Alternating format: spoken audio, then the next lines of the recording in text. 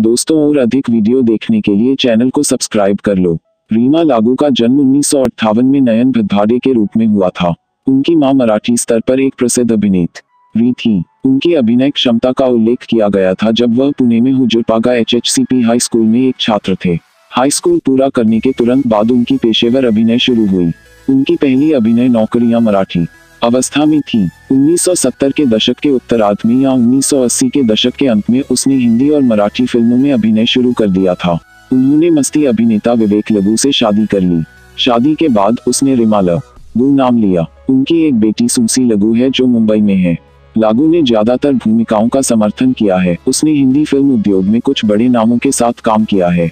Television धारावाहिकों के साथ शुरू होकर, वह फ़िल्म कयामत से कयामत तक 1988 के साथ प्रमुखता से गुलाब, जहाँ उन्होंने जूही चावला की माँ की भूमिका निभाई। तब वह सलमान खान की माँ के रूप में हिट फ़िल्म मैंने प्यारे किया उन्नीस सौ नवासी में अभिनय किया।